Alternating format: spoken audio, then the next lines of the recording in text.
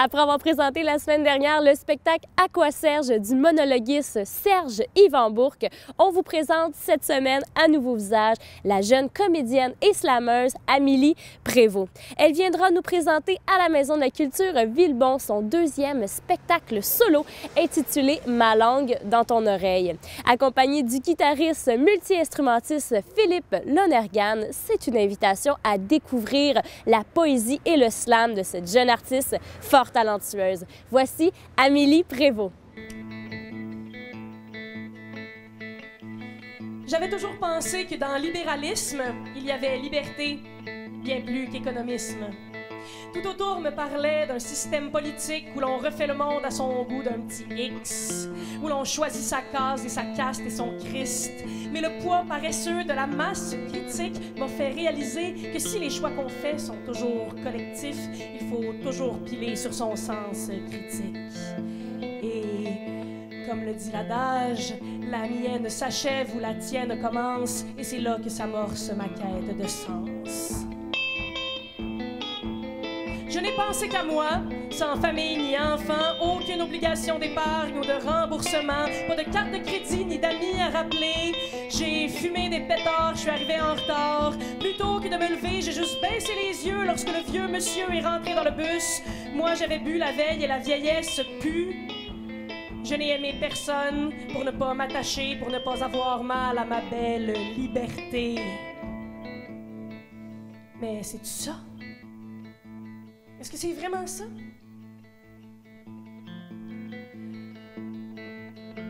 Comme dans un vidéoclip de Lana Del Rey, j'ai bu, fumé, dansé, j'ai tiré du gun comme un cowboy, avachi, saoul sur le pinball. Je me suis mis des plumes de chef amérindien. J'ai fait ma guidon cheap qui se calisse de tout pour hérisser les poils de mon quotidien. Freedom is a country. La liberté est un pays dans lequel j'ai vécu et où l'on meurt trop tôt. Fait que. C'est ça? Est-ce que c'est vraiment ça? J'ai crié tellement fort, hurlé à plein poumon, je ne suis pas d'accord. Moi, j'ai des opinions. Gavé d'informations, j'ai vomi les excès indigestes d'actualité qui circulent de l'écran à mes yeux, de mes yeux à mon ventre gorgé d'indignation, mise au courant de tout, spécialiste de rien, dans mon droit de parole. Sur mon blog et les murs et à gros traits vulgaires, j'ai dit n'importe quoi et n'importe comment. Fait que c'est ça? Est-ce que c'est vraiment ça? J'aurais voulu voguer sur mon propre bateau autour du monde, une veste polo sur le dos. Mais pour arriver là, il aurait bien fallu, dans un emploi du temps bondé de l'inquiétude de ne pas avoir assez engrangé de profit, que chaque sou ait son usage, sa mission, son courage est perdu et ses heures perdues dans l'avenir, calculées jusqu'au bout de mon souffle au risque d'en crever avant d'avoir vécu. Est-ce que c'est vraiment ça? Juste ça? Parce que si c'est juste ça, c'est vraiment décevant. Cette semaine, j'ai le grand plaisir d'être en compagnie d'Amélie Prévost. Bienvenue, Amélie. Merci. Bienvenue à la Maison de la Culture Villebon. Je sais que ce soir, tu vas présenter un, tout nouveau spectacle. Oui. Et là, on va avoir le droit à un spectacle assez varié quand même, parce que, bon, on en parlait, là. Comment tu te définis? euh, comédienne, poète, slameuse? euh? Euh, ben, tout ça. Euh, Oui. Tout ça à la fois. En fait, c'est des monologues. Je pense que ce qui est le plus simple à dire, c'est que c'est des monologues. C'est une formule. Évidemment, le mot slam, euh, il vient facilement se, se coller à ça, là, euh, quand il y a de la musique avec des poèmes, puis que c'est pas vraiment des chansons, à cause de Grand Corps Malade, tout ça. Oui. Puis, euh, évidemment, ben, moi, j'ai commencé à faire de la poésie, euh, mettons, orale. dans les événements slam, les soirées, les, les slams de poésie. Donc, évidemment, il y a une, une parenté avec ce mouvement-là. Sauf que, théoriquement, le mot slam, on le réserve pour les activités euh, de concours, quand il n'y a pas de musique, disons. OK, c'est ça, parce ça. que toi, c'est du monologue poétique. Ouais, c'est une, façon que j'ai trouvé de, de, de, rendre ça plus euh, précis. Parce qu'il y a beaucoup d'humour dans ce que je fais. Oui. Euh, il y a beaucoup de théâtralité. C'est, oui, c'est de la poésie, mais euh, c'est, c'est complètement différent de, de la poésie écrite. C'est vraiment, je, je, parle avec le public, je m'adresse directement à lui. c'est, c'est pas écrit pour être lu, c'est vraiment écrit pour être dit. Ça se rapproche donc un peu du monologue humoristique et un, hmm. beaucoup du monologue de théâtre. Ah, ben oui, parce que sur scène, euh, est-ce que tu as un lutrin et tu lis, lis tes choses ou c'est vraiment tes appris par cœur? Oui, oui, on joue euh, comme des chansons. Les textes, euh, à cause du format du, du, slam, la plupart des textes tournent entre deux minutes et demie et cinq minutes. OK. donc, avec l'accompagnement musical, ça ben fait vraiment comme des petites chansons. Fait que c'est tout morcelé, mais ça se tient. On fait en sorte qu'il y ait comme un fil conducteur dans le spectacle, que tout ça parle de quelque chose euh, qui, se, qui, se, recoupe. Hmm, c'est bien intéressant tout ça. Et je sais que tu as, une formation en théâtre, euh, Cégep de Saint-Hyacinthe, je crois. Et euh, qu'est-ce qui t'a vraiment poussé à vouloir écrire? Parce que, bon, on en parlait, pour toi, je pense que c'est important le côté théâtral. Oui. Mais l'écriture, est-ce que c'est venu en même temps que tes études en théâtre ou plus tard? c'est parallèle. Ben, j'ai toujours écrit. Là. Je pense que les gens qui écrivent, euh, ils écrivent tout le temps. Puis à un moment donné, ça prend plus de place ou moins de, de place dans leur vie. Mais euh, j'ai commencé à écrire en écrivant du théâtre parce que, euh, tu sais, on veut beaucoup, quand on sort de l'école, se créer du travail. donc j'ai fait ça. Puis ben, la poésie, ça a toujours été comme caché dans le fond d'un tiroir, dans un cahier. Là. On fait ça, puis on se dit, mais ça sert absolument à rien. Oui. Et à un moment donné, là, je suis allée voir une soirée de slam, puis j'ai vu des gens sur scène faire des poèmes. Waouh, je peux faire ça, c'est mm. donc belle fun. Il y a une place pour ça, puis euh, ça a été un coup de foudre euh, instantané.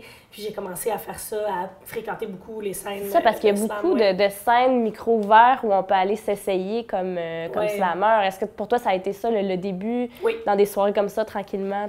Oui, les soirées de micro ouverts, puis les soirées de la Ligue québécoise de slam. OK. puis que c'est vraiment organisé. Il y, y, en a dans beaucoup, presque toutes les grandes villes du Québec finalement. Puis il y a des concours euh, interrégionaux à la fin de l'année, le Grand Slam du Québec, tout ça. Chaque ville vient avec son équipe. Puis c'est vraiment, c'est très sportif là. c'est vraiment des concours de poésie. Il y a des gagnants, tout ça. Puis les, le gagnant de de la Ligue à chaque année va euh, en France euh, pour les, les, concours mondiaux, tout ça. C'est vraiment un, une grosse, euh, un gros jeu. Là, oui, oui, oui. Je sais que tu as participé, puis je pense que tu t'es même qualifié dans, dans ces concours-là aussi. Oui, j'ai fait la Grand Slam avec l'équipe de Montréal il y a une couple d'années. Puis, oh. ouais. oh, c'est des belles expériences, tout ça. C'est très le fun. Mais c'est complètement d'autre chose. Ça sort du milieu du théâtre. Puis ce qui est le fun, c'est que c'est vraiment un art très démocratique. Dans le sens où il n'y a pas, c'est pas élitiste du tout. Tout le monde peut arriver que tu aies une formation ou pas, que tu sois un professionnel ou pas, tu peux arriver, puis si tu es bon, tu vas te démarquer. Mm-hmm. Donc, euh, c'est très ouvert. Puis cet espace-là, je l'aime beaucoup. Il m'a permis de rencontrer des gens aussi qui sont... Euh, euh, qui viennent de plein de milieux différents. on a des, des, comptables poètes et puis des... c'est complètement différent là, d'un milieu artistique.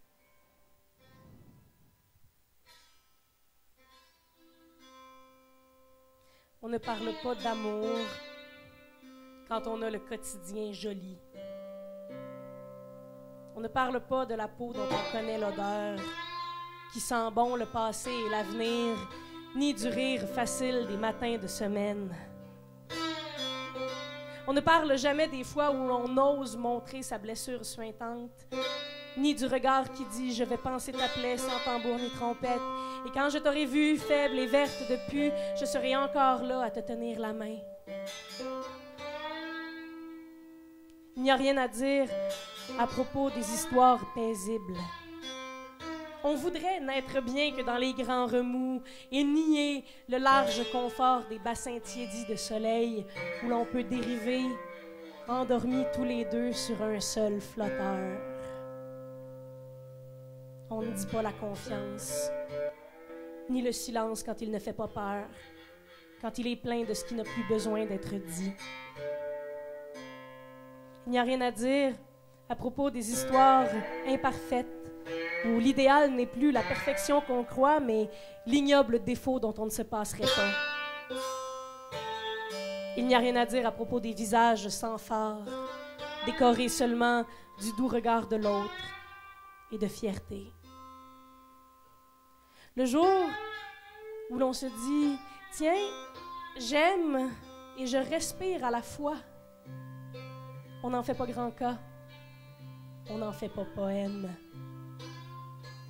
Le jour où l'on désire les yeux ouverts, libéré des fantasmes usinés où l'on jouit en anglais, bien planté dans nos battements de cœur, affranchis l'un et l'autre de la performance, on ne s'en vante pas. Ce n'est pas nécessaire. On ne parle pas d'amour heureux. Depuis quand les poètes ont-ils droit au bonheur? Mais si l'on ne parle pas d'amour heureux, c'est peut-être simplement qu'on a peur de le perdre. Alors on se garde tout ça, tout bas, comme un secret. Des, belles, des belles découvertes, des, belles, des beaux partages. Et je sais, Amélie, bon, on parle de se différencier. Je pense que tu as quand même ta petite marque, ta petite touche. Euh, comment tu décrirais ton, un peu ton style? Parce que le, slam, il y a beaucoup de liberté quand même là-dedans. Là. Oui. Ben, comme, on, comme on, on, en parle depuis tout à l'heure, évidemment, je pense que la, théâtralité teinte énormément tout mon travail. Moi, j'aime beaucoup rire dans la vie. J'aime ça, faire des blagues. Il y en a dans mes textes. Euh, mais euh, puis, je pense que c'est toujours le meilleur moyen aussi d'aller chercher le public, de créer un contact avec les gens. Euh, puis ben, avec Philippe, mon musicien, parce que là, ben c'est de ça qu'on parle, que avec qui je travaille depuis maintenant, quoi, trois ou trois, quatre ans, on a créé, je ne saurais pas comment décrire notre dynamique, mais on est très complices, on se connaît depuis mm-hmm. longtemps. Puis euh, ça a été long avant qu'on trouve vraiment le, le bon ballon entre euh, est-ce que c'est est-ce que c'est de la musique? Puis moi je viens mettre des textes par-dessus euh, est-ce que comme une chanson ça vient comme ensemble puis c'est indissociable? Ou est-ce que autrement ben mes textes sont vraiment plus à l'avant, puis la musique vient comme en accompagnement? Finalement, je pense que c'est un peu ça la formule. On a comme le texte qui est là, puis la musique, elle, vient en dessous. Elle vient se fondre avec le texte, elle vient le, supporter, le soutenir. Euh, ce qui ne veut pas dire que sa présence, c'est pas nécessaire par contre. Là. c'est vraiment très, très précieux. Ça vient donner du rythme, mm-hmm. ça vient euh, donner du souffle, euh, de la couleur, et puis ça diversifie aussi eh l'énergie. Parce qu'évidemment, moi, je suis toute seule avec mon micro pendant une heure et quart. À un moment donné, c'est intéressant, mais euh, c'est le fun quand ça bouge un peu aussi. Puis là, ben, Philippe arrive avec des instruments. Eh oui, parce qu'il est multi-instrumentiste, il faut le dire. C'est pas seulement de la guitare. Là. Non, c'est formidable. Il y a, il y a de la guitare, ukulélé. Euh, il invente des instruments. Je sais pas si on le voit à côté. Là, il y a un, un vieux baril sur lequel il a posé des hmm. cordes de guitare euh, et de, de banjo. Ça sonne super bien. Euh, mais Philippe, c'est un musicien aussi qui a eu des, des, formations en percussion un peu partout dans le monde, qui allait travailler en Inde avec euh, mm. des spécialistes, tout ça. Donc, euh, il maîtrise bon nombre d'instruments. Il y avait eu, l'espace d'une nuit, un mouvement, un changement d'axe dans la sensation de toi. Pour la première fois, je t'ai vu, toi, sous un angle charnel. C'était pour le moins inattendu de penser à toi et au sexe en même temps. Toi à qui je m'interdisais pourtant d'attribuer la possession même d'un pénis. Toi qui, dans l'ombre d'un couple durable, n'avait pas de nom. Rien qu'une épithète. Le chum de Julie. Tu es le chum de Julie. Tu as toujours été le chum de Julie. Tu étais le chum de Julie.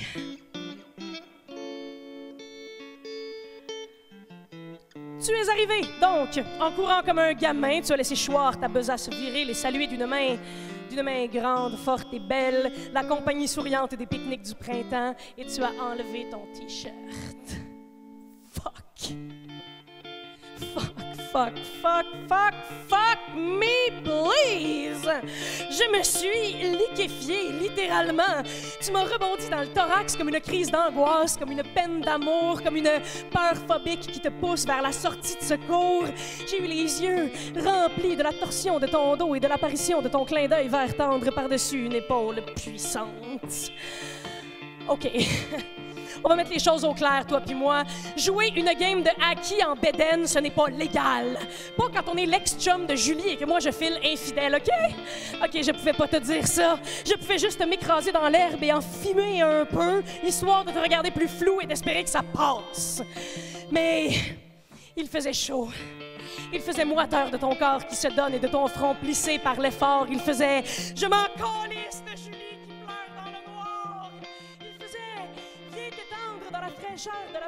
que je sois en plein air, la fucking bitch qui French Lex de son ami le lendemain de la rupture. T'es juste beaucoup trop beau pour que je pense droitement. Et tu l'as fait. Tu es venu étendre ta provocation à côté de moi et ma stupeur béate. Tu es venu tester la force nouvelle de ton célibat. Tu me connais trop bien. Tu sais que la morale me fait souvent défaut. Les vêtements d'été s'enlèvent si facilement. Sans faux prétexte, on est rentré. On a surexposé nos peaux à la lumière de midi.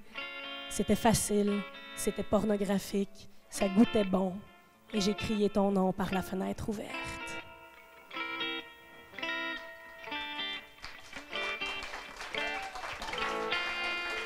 Parce que Ouais. c'est très varié aussi tes sujets, veux, veux pas dans tes chansons. Là. Je pense que tu élabores sur beaucoup de thèmes. Et là, ce soir, on va voir le spectacle Ma langue dans ton oreille parce que c'est un tout nouveau spectacle. là. Je pense qu'il va être présenté pour la première fois, euh, formule intégrale du moins. Oui, c'est la première fois qu'on fait le, le spectacle au complet. Ça fait longtemps qu'on travaille dessus. Évidemment, c'est un spectacle euh, qui se monte morceau par morceau, pièce par pièce. Ouais. Qu'on a commencé par faire des petites formules, puis on arrive avec vraiment là, Mm. l'entièreté du, du spectacle. On est bien content. Et ce spectacle-là, que- qu'est-ce qui est le- vraiment le fil conducteur? Qu'est-ce qui, comment est-ce qu'on peut vraiment le décrire dans, dans ces thématiques? euh? Euh, c'est d'abord c'est un spectacle très intime, donc ma langue dans ton oreille déjà. Oui. je te parle, je te parle à toi, c'est très adressé. Euh, on est vraiment, je suis vraiment en dialogue avec le public dans ce spectacle-là. Euh, on parle de, on parle du bonheur. On parle Oui. du bonheur, c'est comme un thème euh, récurrent, c'est comme un peu une obsession. la Moi, recherche la- du bonheur, du moins? oui, l'espèce de, de mensonge qu'il y a autour de ça, la vérité, euh, Mm. toutes ces, grands, euh, tous- ces grandes questions-là euh, qui, qui, qui font qu'on court après ça là, toute notre vie, là, la Ouais. vérité, le bonheur, la- l'amour, les... puis c'était- pour moi, tout ça, c'est on, se- on se prend beaucoup au sérieux là-dedans, je trouve. Puis Ouais. j'essaie de prendre ça puis faire comme, bah, c'est peut-être euh, peut-être qu'on accorde beaucoup d'importance à des choses qui existent pas vraiment ou qui existent euh, sous une forme tellement personnelle. Oui. Puis, euh, Mais je pense qu'on aussi on va traverser différentes émotions dans ton spectacle. Comme tu Oui. disais, il y a des moments drôles, mais je pense qu'il y a des moments super touchants aussi que les gens vont pouvoir. euh, J'espère. je, je pense que oui. Euh, nous autres, on s'émeut, en tout cas, on se trouve drôle on s'émeut. Je sais pas si ça va se rendre de l'autre côté. Certainement, là. Mais oui, je pense que c'est l'intérêt de, de, de nos spectacles. Je pense qu'on est capable de, de, de passer euh, de l'un à l'autre euh, Ouais. quand même assez, euh, de façon assez fluide. Oui, et là, je- on voit derrière des magnifiques euh, pièces euh, Oui. dans- an- antiques. Oui. on est comme chez nous. C'est Oui, c'est c'est ça l'idée de créer de l'intimité, de je veux vraiment parler avec les gens directement, qui, qui se sentent bien de me parler aussi. Fait qu'on est comme chez nous, on ouvre des tiroirs, euh, on change de linge. euh, Mm. on- Fait va voir une belle mise en scène euh, avec des accessoires, tout ça, ça va bouger quand même comme spectacle là, parce que c'est pas Ouais. seulement une artiste sur scène qui fait ses, ses- ses monologues. Je pense que c'est un beau Ben, on travail. essaie de de- dynamiser tout ça. On travaille avec euh, Émilie Gauvin, qui Oui. est metteur en scène, qui est aussi une fille de théâtre. Mm. Euh, donc, qui vient m'aider à, de- à me donner un petit peu de mouvement à ça, euh, à rendre ça plus vrai, plus, euh, ouais, plus accessible pour Ouais. les gens. Euh, ça fait, ça fait peur un peu, là, la poésie. Là, dire, Ah, venez voir un spectacle de poésie. Les gens ont tout de suite l'impression que ça va être euh, euh, super lourd ou hermétique. Ou, mais c'est pas ça du tout. Non, Au contraire, c'est nous, on ça. travaille à rendre la poésie accessible, à ce que les gens aient envie de découvrir la poésie. Certainement, mais j'espère que les gens vont adorer ton spectacle ce soir et surtout que tu vas t'amuser sur scène avec Philippe. Ça, c'est sûr. C'est sûr. euh, pour le, le plaisir, il n'y a Oui. pas de doute. Ben, en tout cas, bon spectacle, Amélie. Amuse-toi Merci, bien à la maison Villebon. Merci, merci beaucoup de m'accueillir. Ça fait plaisir. Je réclame le droit de n'être pas rejoignable. La joie d'ignorer que vous avez appelé, texté, laissé un message. Non, pas de panique. Je le prendrai en rentrant. Et je serai heureuse ou peinée ou j'aurai manqué le train, mais je ne regretterai rien. Je refuse d'être fustigée pour non-retour d'appel pas important. Et surtout, pas de paranoïa. Moi aussi je t'aime, mais aimer, c'est attendre et rêver. Je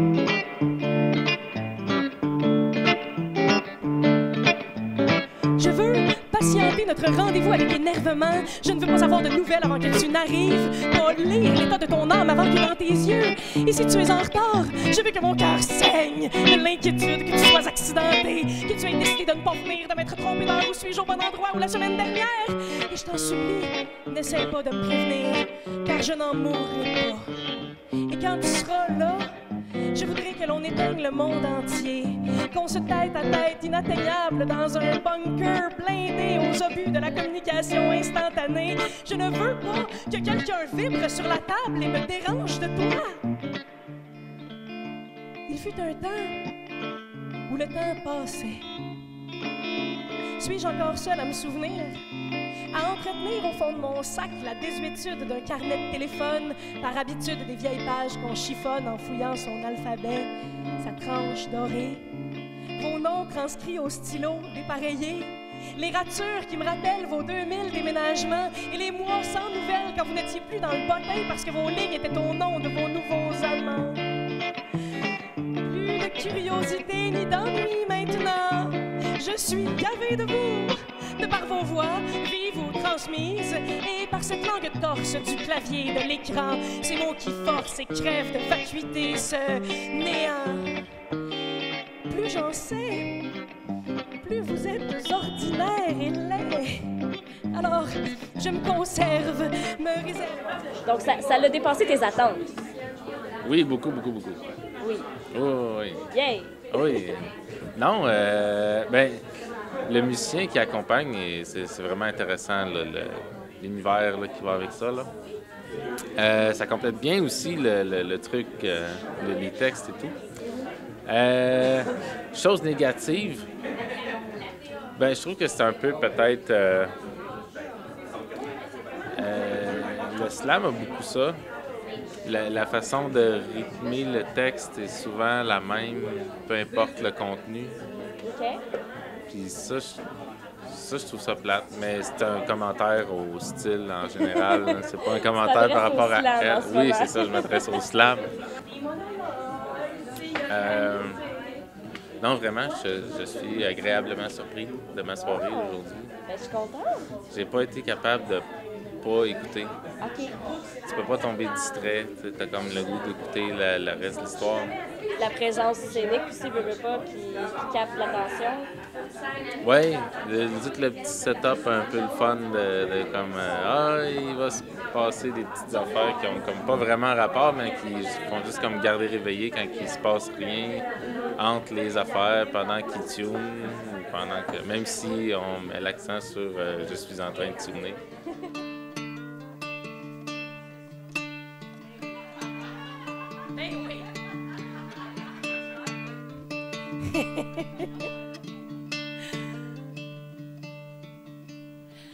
Le mensonge. Parent pauvre de la débrouillardise, premier outil de la facilité, existe de toute éternité dans les nerfs à vif de l'homme, dans l'omniprésence de l'imparfait, de l'impur, dans la nature coupable de l'innocent qui se saigne à blanc pour gagner et enfin s'en sortir.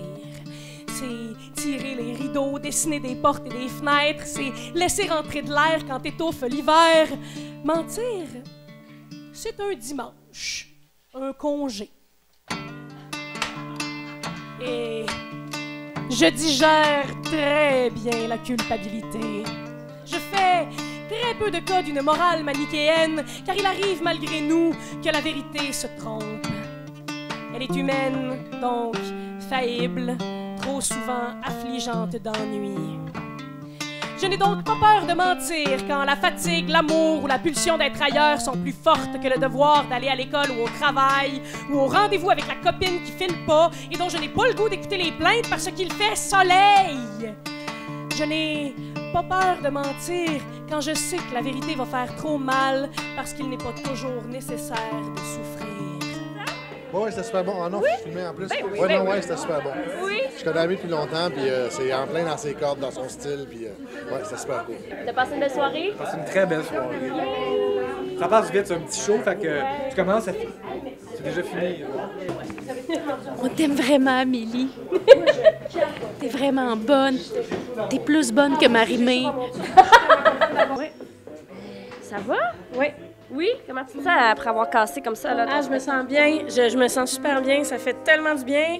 Le public était extraordinaire, généreux, réceptif. Euh, J'ai eu du plaisir avec les gens dans la salle, vraiment. là. C'était un super spectacle. J'adore cet endroit. Oh, mais tu fitais tellement avec le, le- le décor et tout ça, là. Ah, c'était le fun. Ben, tu sais, des fois, il y a des moments là, où tu amènes ton spectacle dans une salle, puis tout fonctionne. C'est comme de la magie un peu, là, mais là, c'est un peu de la magie. C'est beau. C'est la magie de Villebon. C'est la magie de Villebon. Mentir, c'est pas toujours mentir. Parfois, c'est repartir le bal pour cacher le pas chancelant de l'abus et faire renaître dans l'aube épuisée l'éclat fardé de 20 heures. C'est beau de se mentir. C'est se bourrer l'estime de réconfort, c'est se donner la chance d'espérer encore. C'est quand, dix ans plus tard, on se dit que le désir est encore fou, que ici et maintenant, l'impossibilité de ne pas s'aimer est plus forte que tout, et que l'on viole l'indolence des jours prévisibles en déchargeant au large le lest des acquis. Ces jours-là, après l'amour, on est tellement heureux d'avoir réussi à se mentir. Ces jours-là, la vérité et le mensonge sont mêlés, sont ensemble, amoureux. Je fais ici l'éloge du maquillage et du déguisement, de l'illusion qui divertit comme la magie quand on oublie qu'il a un truc. C'est toujours si beau dans les livres, les films et les chansons. C'est tellement gai d'enjoliver. C'est fascinant des yeux qui brillent d'intérêt et d'incroyable. C'est tellement grand des rires, des hein, puis des voyons donc. C'est juste que la sensation de regard admiratif dans mon dos, c'est beaucoup plus chaud pour m'en aller que l'indifférence. L'indifférence ne laisse pas de traces et ça me fait paniquer.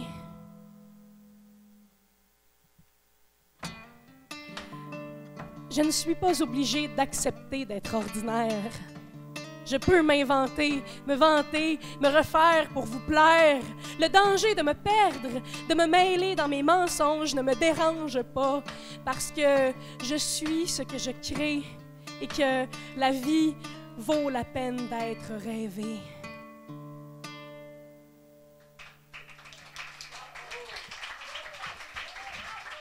La semaine prochaine, à Nouveau Visage, on vous invite à entrer dans l'univers de l'auteur, compositeur, interprète Caroline Dété. Merci de votre écoute et à bientôt.